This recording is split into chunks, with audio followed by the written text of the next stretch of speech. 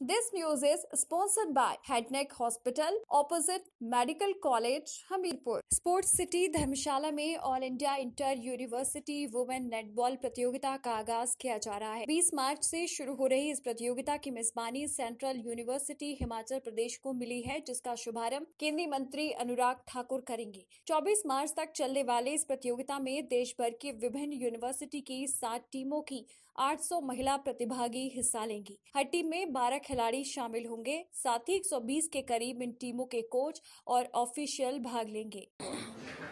पहली बार केंद्रीय विश्वविद्यालय हिमाचल धर्मशाला को मेज़बानी करने का मौका मिला है और राष्ट्रीय स्तर पर ऑल इंडिया कंपटीशन पहला जो हमारे को दो इवेंट मिले हैं, जो पहला इवेंट है वो inter university netball women championship और जो दूसरा मिला है वो inter zonal kho kho man championship जो पहला इवेंट है वो 20 तारीख को शुरू होगा।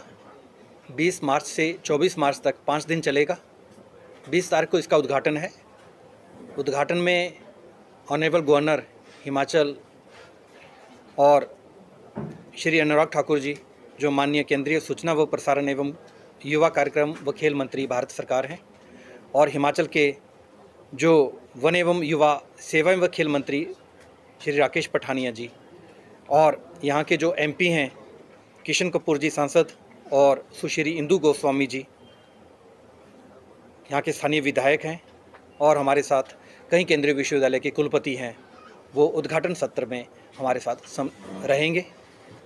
और इसका समापन जो है, वो 24 को होगा, जिसमें श्री राकेश पठानिया जी और यहाँ के जो कुलाधिपति हैं पद्म श्री प्रोफेसर हरमंदिर सिंह बेदी जी, वो रहने वाले हैं।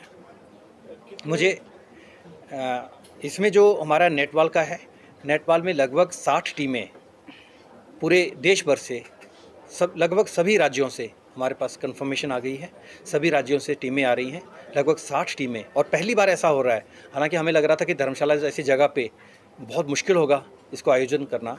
लेकिन धर्मशाला के लोगों का डिस्ट्रिक्ट एडमिनिस्ट्रेशन का मैं धन्यवाद करना चाहूँगा कि उनके सहयोग से हम, हमने बहुत सक्सेसफुली सारा अरेंजमेंट कर लिया है। लगभग 800 पार्टिसिपेंट्स बच्चियाँ जो हैं, छात्राएँ, वो आ रही हैं। और उनके साथ लगभग पौने 200 200 जो हैं, उनके कोचिज ऑफिशियल्स वो यहाँ पर आएँगे। सभी का अच्छा अरेंजमेंट हम लोगों ने कर दिया और मुझे पूरी उम्मीद है कि पहली बार धर्मशाला सिटी को ये इतनी बड़े इवेंट जो हैं स्पोर्ट्स इवेंट यहाँ पर मिला है और दोनों इवेंट जो हैं, बहुत सक्सेसफुली हम ऑर्गेनाइज करेंगे और विश्वविद्यालय का नाम होगा स्टेट का अपना नाम होगा सिटी का अपना नाम होगा और मुझे उम्मीद है कि आने वाले समय में जैसे मैंने पहले भी कहा है कि हम यहाँ पर विश्वविद्यालय ने ये निर्णय लिया है कि अपनी स्पोर्ट्स अकेडमी जो है विश्वविद्यालय यहाँ पर बनाएगा और स्पोर्ट्स अकेडमी के द्वारा आने वाले समय में अंतर्राष्ट्रीय लेवल पे अच्छे खिलाड़ी जो हैं, हम यहाँ पर प्रशिक्षित करेंगे।